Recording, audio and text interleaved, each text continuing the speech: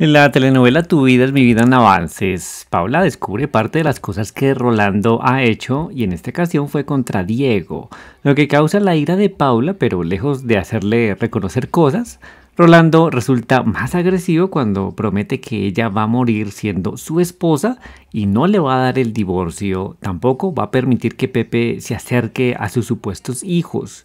Y llega la pregunta de si todo ese estrés y maltrato va a representar cosas graves para la salud de Paula. Mientras que del lado de Pepe ahora quedó con la culpa por arrollar a Teresa y nadie le va a creer.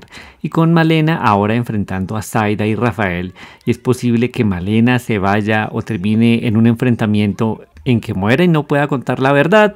Déjenme un comentario y nos vemos en el próximo video.